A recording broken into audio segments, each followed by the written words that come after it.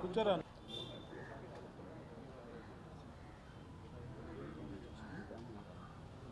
Tea తెమ్మను రే tea తెప్పి టీ పంపించారు అందరికి త్వరగా రమ్మను రాష్ట్ర ప్రభుత్వం తీసుకొచ్చినటువంటి జిల్లాల విభజన ఏదైతే ఇప్పుడు పదమూడు జిల్లాల ఆంధ్రప్రదేశ్ రాష్ట్రం ఉందో దీన్ని ఇరవై ఆరు జిల్లాలు చేయాలని చెప్పి ప్రభుత్వం ఆలోచిస్తూ ఉందో అక్కడ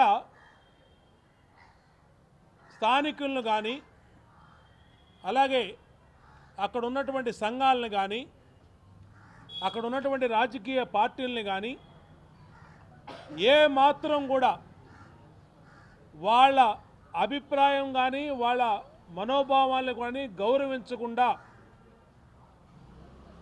ఏకపక్షంగా ఇరవై ఆరు జిల్లాల విభజన కార్యక్రమాన్ని వైసీపీ ఒంటెత్తు పోకడతో ఇదేదో తన సొంత వైఎస్ఆర్ కాంగ్రెస్ పార్టీ వ్యవహారం లాగా చేస్తూ ఉంది. దీన్ని తీవ్రంగా వ్యతిరేకిస్తూ ఉన్నాం. ఈరోజు ఒక్కొక్క జిల్లాలో ఒక్కొక్క అక్కడ ప్రాంతాల వారీగా అక్కడ స్వాతంత్ర శ్రమయోధులు కానివ్వండి ఆ ప్రాంత ప్రజల ఆ ప్రాంతం అభివృద్ధి కోసం కష్టపడిన వాళ్ళు కానివ్వండి ప్రాణాలు అర్పించిన వాళ్ళు కానివ్వండి ఆ ప్రాంత ప్రజల గుండెల్లో చిరకాలంగా ఉండిపోయిన వాళ్ళు కానివ్వండి అనేక మంది పదమూడు జిల్లాల్లో ప్రముఖులు ఉన్నారు. ఈరోజు జగన్మోహన్ రెడ్డి ప్రభుత్వం